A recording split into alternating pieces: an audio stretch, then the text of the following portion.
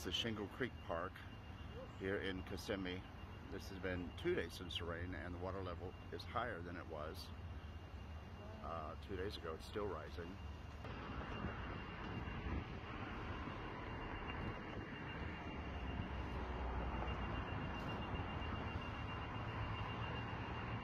Um, right now, statewide, 95% of customers have power. Uh, we're down to only 5% of customers without.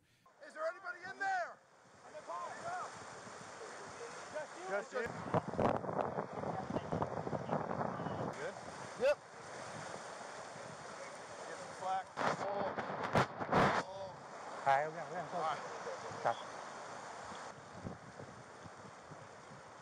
Uh, so, so far, we've had more than 1,900 rescues, uh, and the USAR teams, uh, with more than 1,000 personnel, have gone door to door to 65 different structures uh, to check on occupants. And those are mostly structures in the really hard hit areas.